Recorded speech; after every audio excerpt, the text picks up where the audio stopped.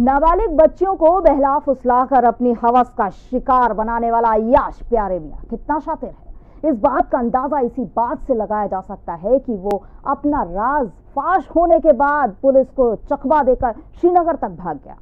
मध्य प्रदेश के मुख्यमंत्री शिवराज सिंह चौहान और गृह मंत्री नरोत्तम मिश्रा ऐसे लोगों के खिलाफ सख्त एक्शन चाहते हैं। यही वजह है कि प्यारे मियाँ, विदेश भागने से पहले ही पकड़ा गया है।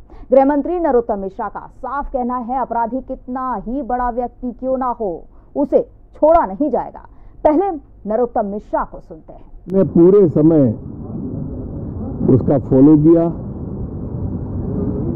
और आप सबके सामने परसों गया और कल पकड़ गया। जानकारी मांगी है जानकारी आ जाएगी तो उसके बारे में भी विस्तार से बताएँगे। अभी कहना शायद जल्दबाजी हो जाएगी। संगीत की स्वर लहरियों से।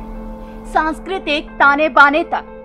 चंबल के पीड़ों से नक्सलवादियों के गढ़ तक झोपड़ी से महलों तक ठेलों से मेलों तक पगडंडियों से सड़कों तक गाँव से शहरों तक व्यापार से उद्योगों तक। राजनीति से कूटनीति तक। दखन न्यूज़। आपके हक।